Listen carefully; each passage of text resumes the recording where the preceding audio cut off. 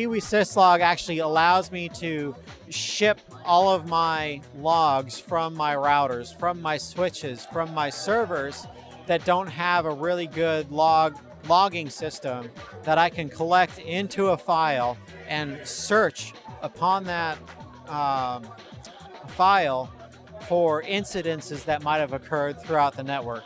And where that really helps is, you know, we all work, you know, uh, hopefully, you know, a nine to five, but you know, that doesn't ever happen in the IT world.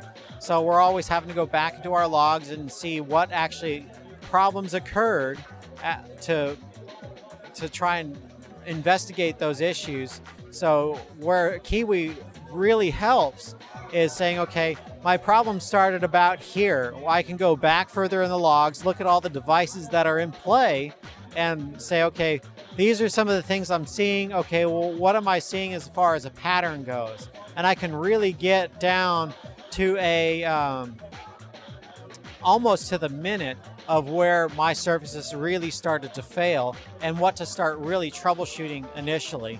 Uh, so it really helps me watch and monitor those logs in my email that I get tons of email alerts every day and I can go back and search through the Kiwi syslog logs and find those incidences.